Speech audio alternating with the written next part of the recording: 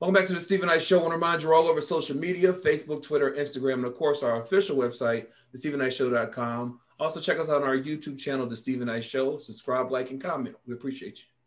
All right, so um, Beyonce, she did a um, exclusive interview with British Vogue, where she confirmed that she decided to slow down from music and focus on her joy.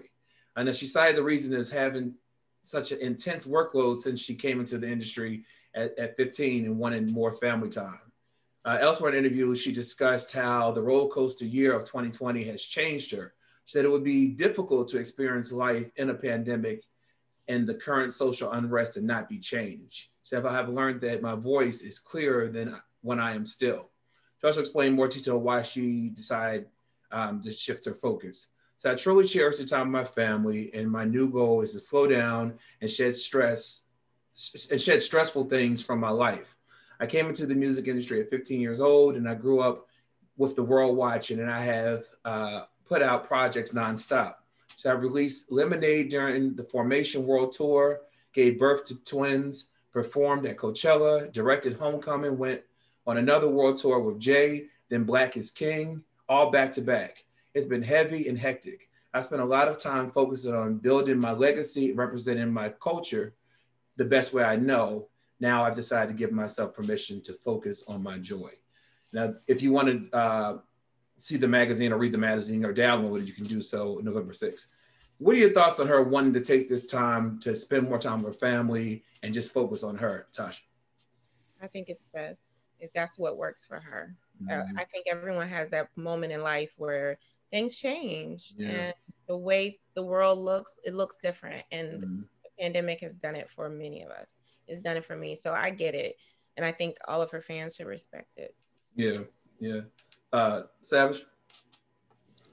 I just want to say she should put some of that energy into making Ivy Park widely available because it it really derailed my whole day trying to get the question. I got it. I got it. you got it. It was a little bit of a struggle. No, I think that um, Beyonce is she has done so much in her lifetime, and she has amassed a good amount of wealth that affords her the ability and the right. to take a step back and raise her children. And I think she's, you know, spot on that all of us I would hope have been changed in some way. Like I know for myself, I've reprioritized things that are important to me mm-hmm. quite a bit. And it's just um I I get like I could see where it can go one or two ways where you could say, hey, I need to do more just to distract myself from all the crazy. And then the other side where you're like, no, I'm gonna take a hiatus and meditate and get my my chakras aligned and take care of my children before I can um, come back into society. So, I, I mean, I'll miss her. I love Beyonce, all of her work. Black is King. I watched that little days. I'm gonna watch it again sober, but it was great from what I can recall. Um, but no, I yeah, I I compl- I hope that everyone's taking a step back at mm-hmm. least and getting them and putting themselves in priority because if you if you don't do it, who will? Right. Yeah. Chike. So people tend to look at people in the industry as something other than human, right? And we love them based off of the art that they contribute to us. And it becomes our portal into their world, where their world is much bigger than that portal that we see. They're they're normal people. They live lives. I happen to know a couple people in the industry and the goal is to make the amount of money and to have to sustain a living but still being able to be as normal as possible whatever their normal is and most of them just want a family life they just want to have children be married you know same things that we do go to the grocery store and or whatever the situation is that makes them normal but you know how you feel when you want to chill out from work or you need a vacation they're just made, able to have more money or more um, afforded more time to be able to do greater things than we could go for her. go for her. Yeah. I think a lot of us, like, you know, like she said, um, we've taken a look at ourselves over this pandemic and we see what is important. And, you know, again, she's she's Beyonce, you know I mean? Everyone knows the name. you know, they know Beyonce, so she could take a break. She could take a really good break and come back, and it, it won't hurt her. It won't hurt her at all. Yeah, hey, just mean? think about the art that we're gonna get when she comes back. Think about what's gonna yeah. happen when she comes back. That's gonna exactly. be crazy. Exactly. So yeah. Well, I hope she gets the time that she needs and wants for her family. All right. So August Alsina, um, he's not here for people attempting to come for him on social media, and he recently uh, made a series of videos to let it be known it's not it's not cool. So following a, a viral social media post that referred to him as irrelevant started circulating. Alsina had some things to get off his chest. In the video clips, um, August called out what he believes to be clout-driven society, um, and then advised his followers not to feel pressure to constantly be on the internet, noting that he is oftentimes given him permission to log off for the sake of his mental health. Additionally, uh, just just so that the online trolls know where he stands when they state that he is a mo- or, oxymoron to call him irrelevant, yet still talking about him. um, report, August Alsina uh, previously discussed his decision to open up about his relationship with Jada Pinkett Smith in an interview with People. He said, I never really cared about what people thought about me, but my personal life started to seep into my business life. Uh, there were certain falsities about me and it was affecting my business relationships. He continued, I could understand why it looked like I'm reckless or disrespectful. So it really started to affect my livelihood. And I'm never okay with that. I got three kids to look after. Kill me, hate me, stone me, but bury me an honest man. All I can do is tell the truth. What are your thoughts, Tasha? This is one of those times I wish I don't have to go first. uh, So I wear many hats. I'm a publicist by day. And this young man, uh, apparently he wants all the smoke. He says he doesn't want to be in the in the eye of social media, but he posted his business on social media. He's like one of those people, you know, they're like, I'm gonna block you. I'm about to block, I'm about to do a big Facebook sweep. He does post, yeah. Uh, Who cares? Let's like, do I, it yeah. I don't know. I just think it was very irrelevant. Um, and I'm just not interested. That's all I got for it. Mm-hmm. Savage. I just, you know, it took a while. Like I thought he would have had a lot to say um, shortly after the backlash of him putting Jada's business out there, but I had the longest conversation about that, or conversations about how you should not mess with people that don't have anything to lose, especially yeah. celebrity. He I've always been told that. Yeah. Because they're gonna drag you down into the dirt with with them. Anyway, I think that August needs to man up. Or that's not that's not sensitive. Hold on. I think that if you uh if you do make such a declaration about a public couple, about you know anything that's going to draw some backlash to you, you need to be ready for what comes with it. It's true. And this is a situation where he bit off a little bit more than he can chew and he's trying to get everybody together. I'm like, okay, I mean, that's what the internet is for. People go crazy on the internet. So if you don't want your business out there, don't say anything. Nobody would have ever known it. Like we had forgotten that Jada had you on her arm like a, a, a handbag. Right, yeah. Hermes, but no, maybe not Hermes. Anyway, um, yeah, August got to get it together. It's you can't take the high road after you laid down in the dirt and wallowed around with the pigs, baby. That, you know, that ship has sailed. You you you down there, so you got to deal with what people say. And unfortunately, people are mean. They're mean online. Need to be mean behind yeah. the computer screen. Nasty. What Nene say? I can't think of a Nene quote, but insert Nene quote right here. now helping down the other side because he has mental health issues as well that he said. Um, but again, these are things you have to take into consideration when you put somebody's business out there. Yeah. And the thing, the fact of the matter is it has it didn't hurt Will or Jada one bit. It became a joke, and then now they know they know him more for his for that entanglement than his music. Wait, he and then he made a song about it, y'all. Made a song about it. Yeah. so yeah. I can't. I have no. I have zero sympathy for. Yeah. How he feels like you you did too much. Chike.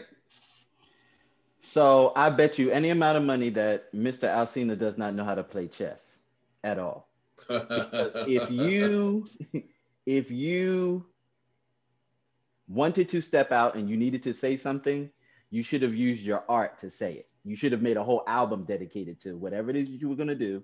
Make it fire. It has to be fire. And Right. don't talk about it. Let people suspect what you talk about. Maybe in interviews as you promoted it, leak little things out, but you can't come at the giant, bruh. The Smiths are a brand. They have been a brand for a couple decades now. You can't do that. You're August Alsina down here. They're the Smiths.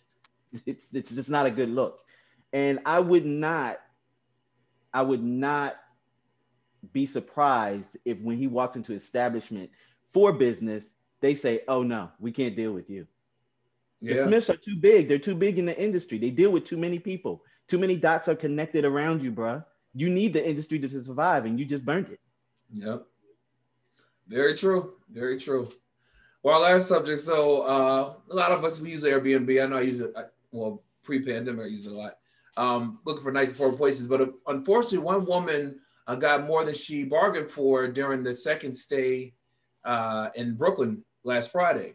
So, while unplugging a charger, Alexandra, oh, Alexandra, yeah, Alexandra noticed that something was off. She remembered a viral post about hidden cameras. Once she grabbed the charger, she noticed that it was actually a hidden camera in the living room, which was new information to her.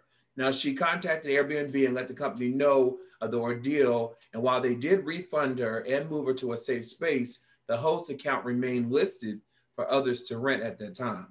She took to Instagram and shared the detailed event and claimed that all Airbnb did was give the host a warning, although their policy stated otherwise. When she contacted the police office on October 27th, she was told that the officers weren't able to do anything because it was a gray area, being that the camera was in a common area.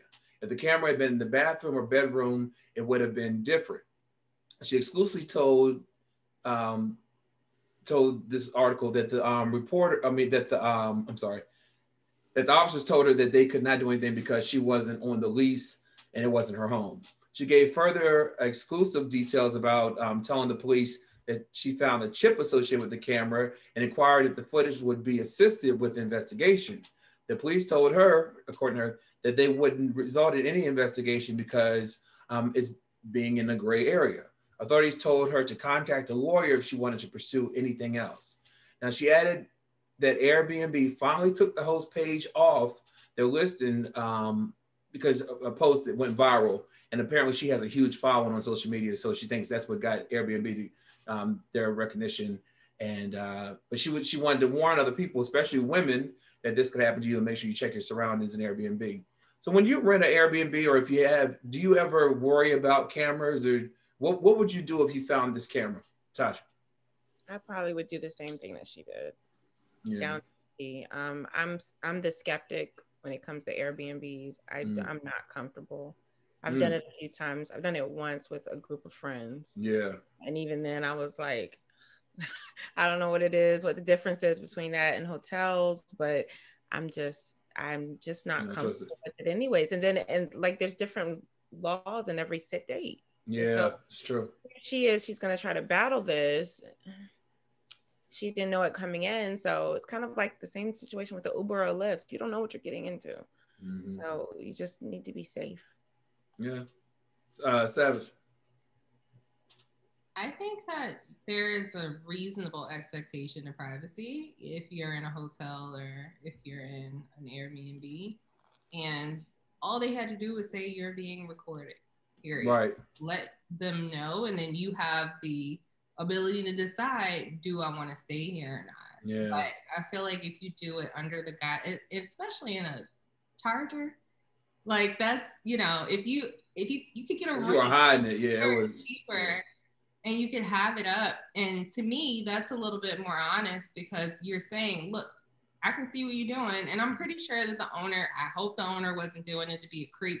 Right. if you're doing it to say hey this person caused damage. This is the evidence of the damage. That's my hope.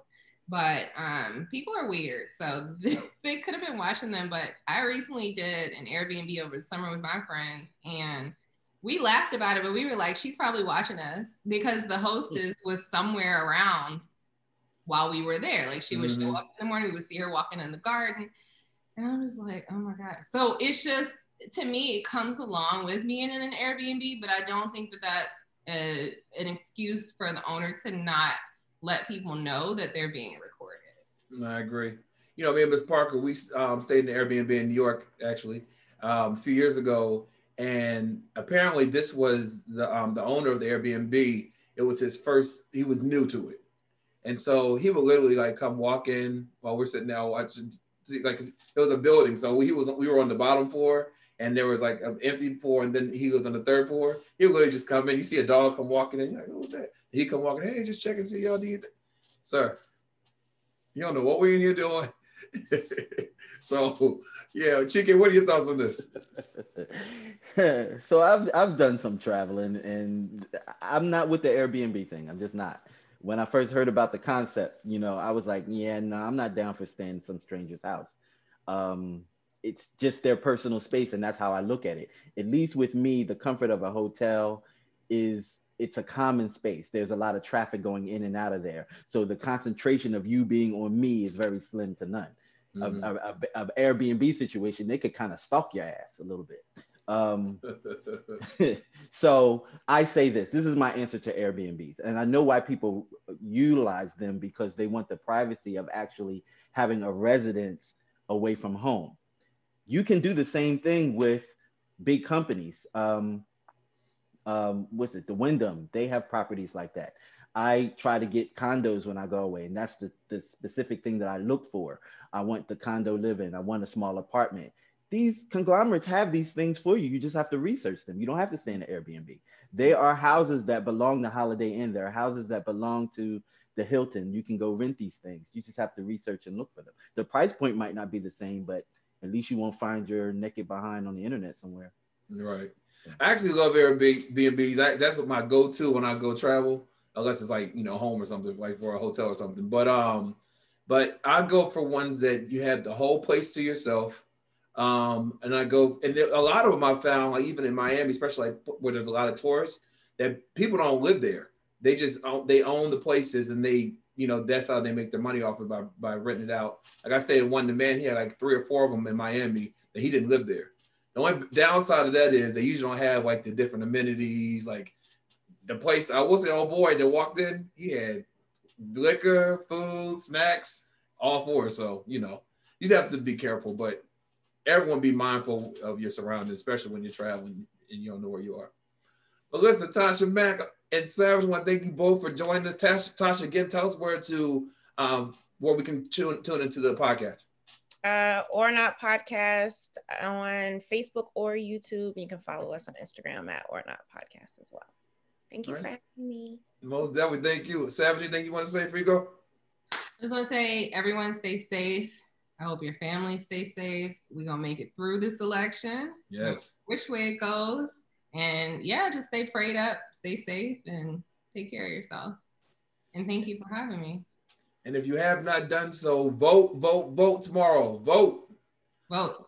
Well, ladies, thank you again. Check out some movie reviews, and we're right back after and, this. And can I just tell the people before we leave? Yeah. Please check out No Lies Detected on Instagram yes. and No Lies Detected on Facebook. We have me and my uh, partner, uh, David Imrain. We have now completed our five episodes leading up to the election. So please watch the five episodes on Facebook and on our YouTube uh, channel, No Lies Detected. After you do that, then jump onto the Instagram and watch me and David on our live as we size up all five episodes. Thank Sounds you. Sounds great. Check it out. Check it out. All right, right back after this, y'all.